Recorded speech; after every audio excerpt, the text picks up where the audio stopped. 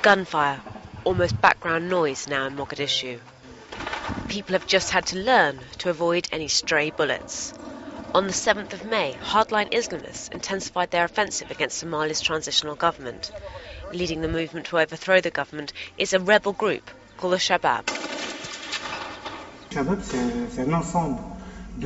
The Shabab is a collection of militias, semi-independent, often made up of between 10 and 15 men under a commander. Their aim is to establish a caliphate, that is, to return to some kind of Islamic republic run according to Sharia law and God's will. The Shabab is supported by the forces of Sheikh Hassan Dahir Awais, a veteran of the Somalian Islamist movement and one of the founders of the Islamic courts, as is Sharif Sheikh Ahmed, current president of Somalia.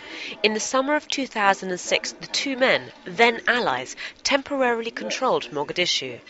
But since then, they've taken different paths.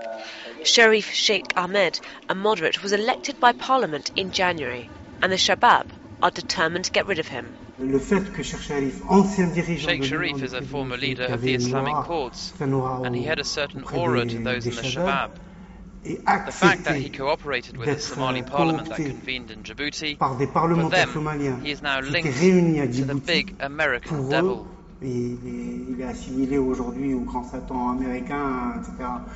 Civilians are caught up in the chaos. Fighting has killed 300 since the beginning of May. The UN says around 26,000 have fled Mogadishu in recent days, and 159,000 have been displaced in the last six weeks. Civilians rarely receive desperately needed food aid. It ends up on the black market. And in certain regions, inflation has hit 300%.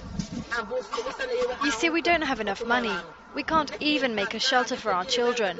Before, to make a little money, I did washing, but we had to flee. As the situation continued to spiral out of control, Somalia's government declared a state of emergency and pleaded for neighbouring countries to send troops to stop the rebels destabilising the country and the entire region. The Shabab warned off any intervention. A spokesman declared that foreign soldiers would be sent home in coffins.